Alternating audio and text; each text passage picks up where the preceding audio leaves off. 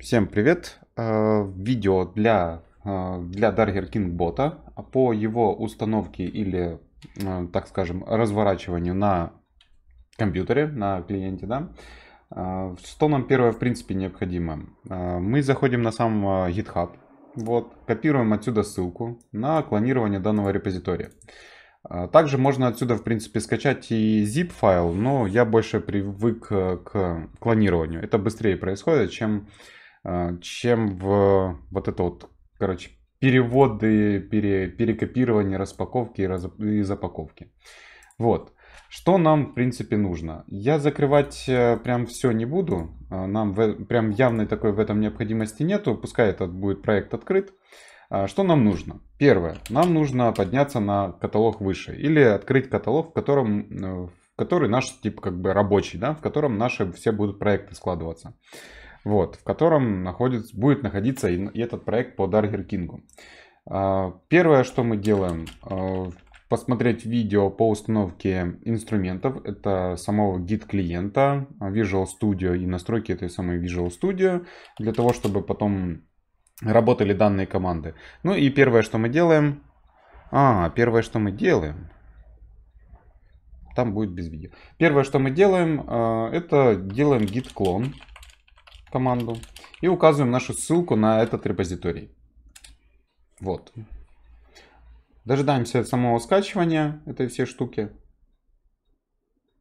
Вот, процесс недолгий. А, Сами исходники по JavaScript они довольно-таки маленькие.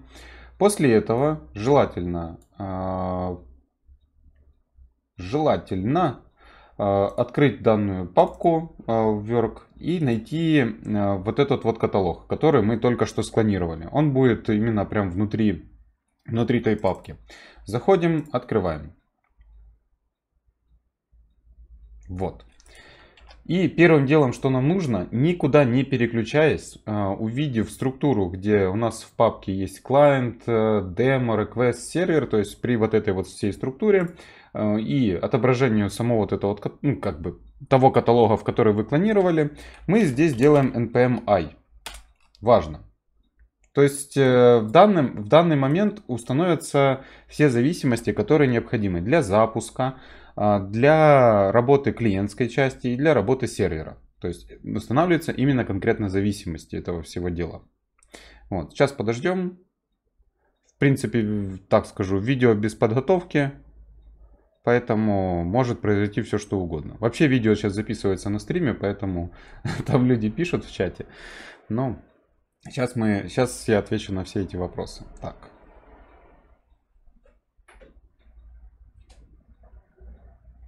Самое долгое здесь, конечно, будет client. Э, Дело в том, что там React, э, React 18 плюс э, куча библиотек. Вот, и они все будут пытаться, короче, скачиваться, потому что чистый репозиторий.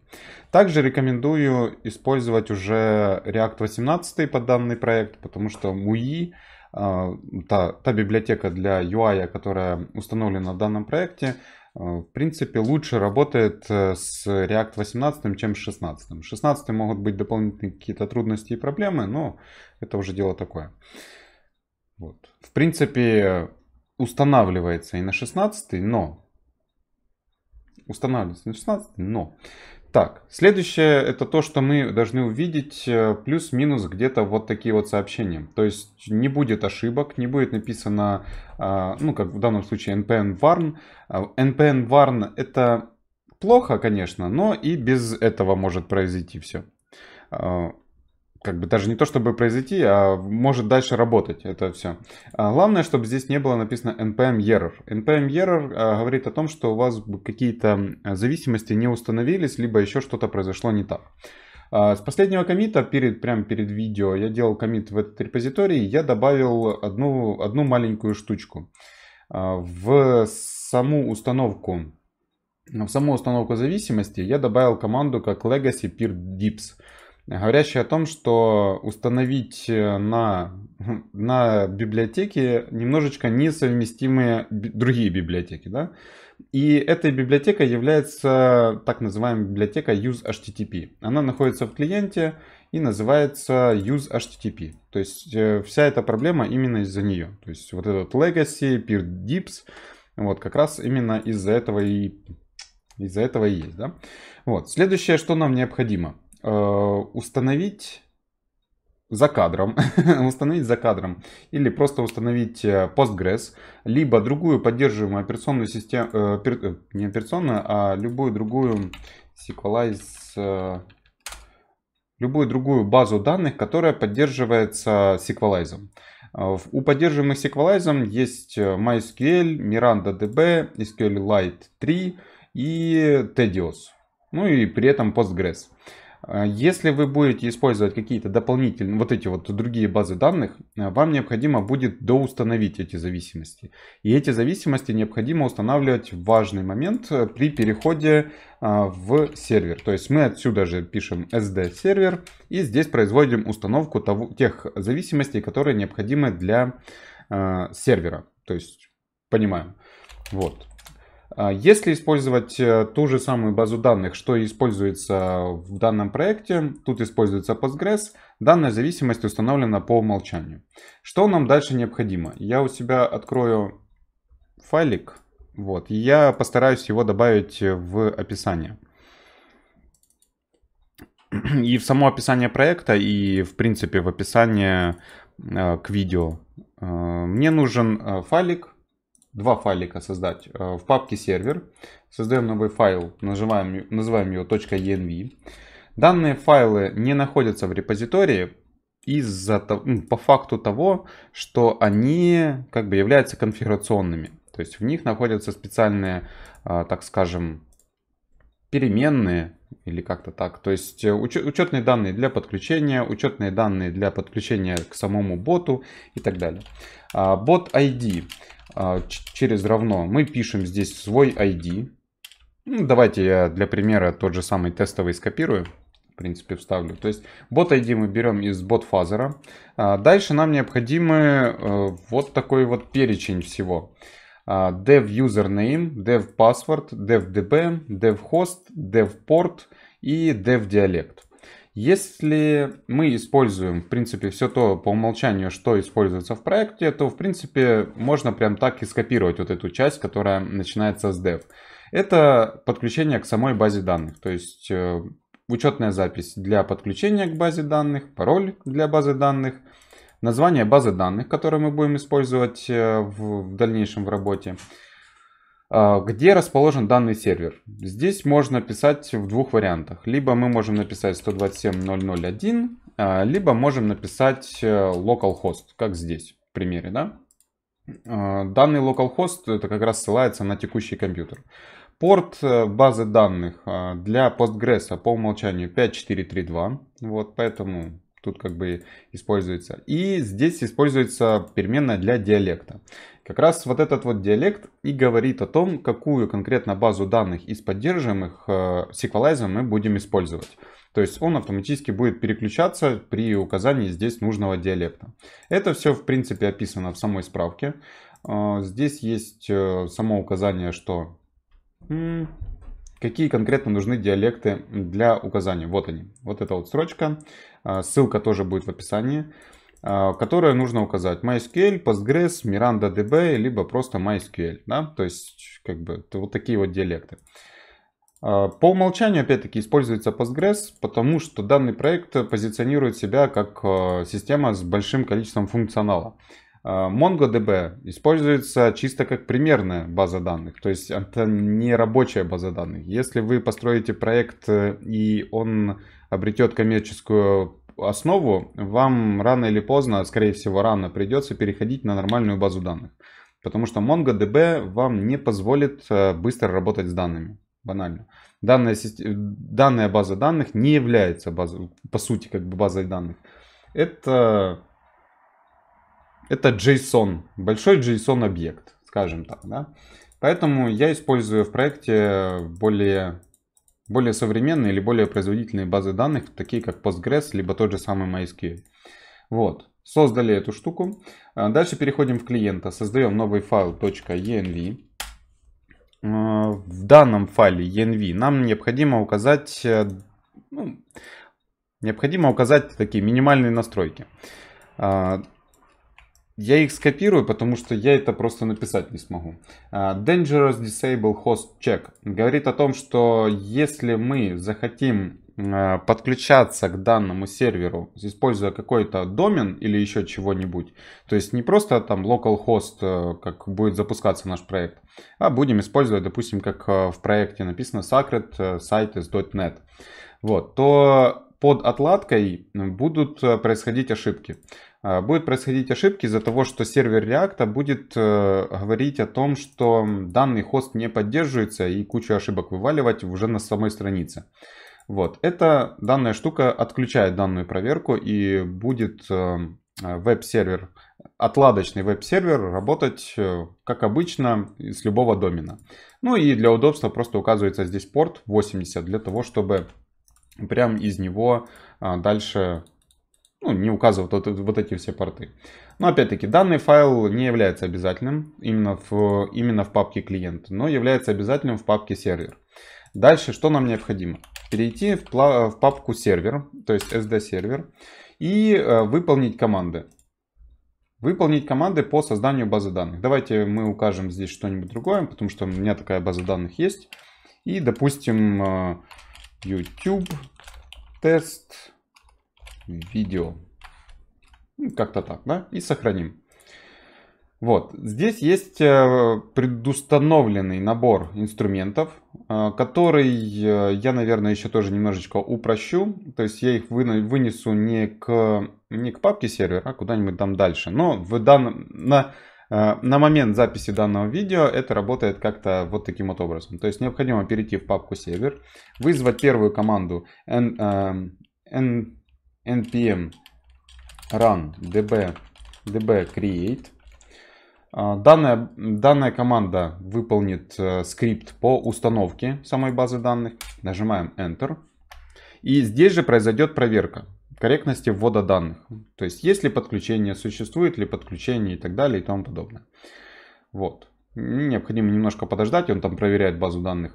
Вот. И успешность, э, сам факт успешности подключения и создания базы данных, то есть если у вас э, учетная запись, э, корректно, корректно введена учетная запись, и учетной записи есть разрешение на само создание базы данных и работы с базой данных, то будет надпись приблизительно вот такая. То есть используется development секция, которая указывается как набор набор настроек или как-то так. Вот. И указывается, какую мы базу данных создали. Все. Следующим этапом а, мы сразу же можем приступать, если у нас здесь не было ошибок, к а, команде mi. Команда mi это сокращение от migrate. Данная команда установит в данную базу данных, которую мы указали ранее э, и создали ранее, создаст там все таблицы, все колонки, все необходимые связи для этого всего. Поэтому выполняем и ее. Здесь скрипт повеселее, побольше. Вот. Здесь будет указываться перечень всех, э, всех миграций, которые были, ну, которые были на состояние данного проекта. То есть был init, какие-то небольшие фиксы, какие-то добавления и так далее и тому подобное. В принципе, они все выполнились. Если а, ошибки будут, то Здесь будет на, что-то написано по типу npm error и указываться, почему там нельзя, допустим, применить данную миграцию или где-то будет какой-то конфликт при создании э, каких-то колонок и так далее. Следующий npm, следующий npm sd двоеточ, э, две точки. Мы выходим на уровень выше, то есть мы возвращаемся обратно к корневому проекту, к корневой папке нашего проекта и выполняем npm start. npm start выполнит сразу же две команды. Это запустит веб-сервер, и мы должны увидеть вот такие вот надписи именно в самом начале, говорящие о том, что наш э, сервер э, запустился. Э, запустился и обработал вот эти вот конечные точки маршрутов, команды и контроллеры для того, чтобы дальше работать с, с проектом. После этого дожидаемся, когда запустится наш проект. Дожидаемся. Первая инициализация вообще всегда долго. Не знаю, с чем конкретно это связано, но вот он появился, да? Вот. принципе и все. Наш проект готов. Дальше мы можем перейти на админ. Админ.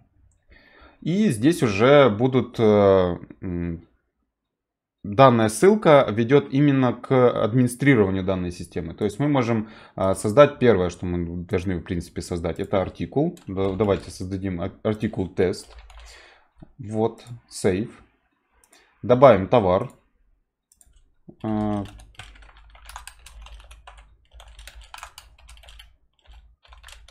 привет, YouTube. Для артикула тест. Нажимаем сохранить. Вот, у нас какой-то есть один товар и один, э, и один артикул. Теперь мы переходим обратно на localhost. И мы уже видим наши здесь артикулы, потому что наша первая страница, на которую мы вообще попадаем, это выбор артикулов или видов товара, или как, как вам удобно называть. Они, ну, вот такие же, да? Мы можем, допустим, поменять. А, сделаем а, наш первый, давайте так, наш первый артикул. Сохранить.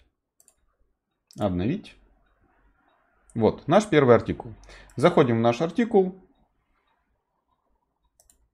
и отхватываем ошибку. И заодно посмотрим, что здесь произошло. Угу. У нас нету продажи. Э, увы, на текущий момент э, теку... вот эта данная система не позволяет э, создавать, создавать цены для этого всего. Ну и при этом это еще даже не, не поправлено.